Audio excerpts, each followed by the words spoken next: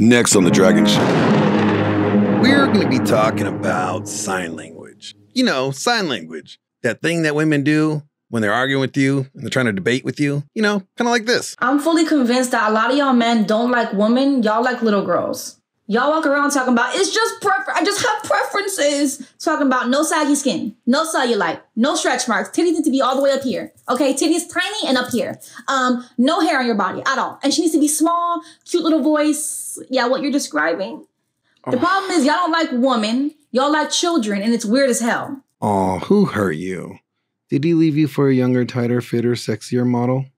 He he barely making he make a thousand dollars a week. That's nothing. Thousand dollars a week is a lot of money. That's four thousand a month. After taxes is eight hundred. She take my money when I'm in need. What do you want to say to Matt?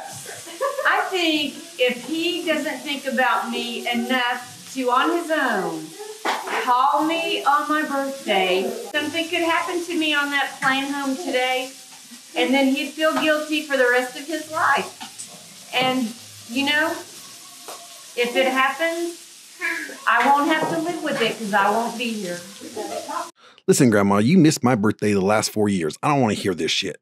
cooking and cleaning, rubbing your feet, doing all those great things, and they see that bullshit that you do, the bullshit that you tried in America with American women, you turn them into just how the women in America that you're running from, you turn them into them. Wow, that was really rough listening to.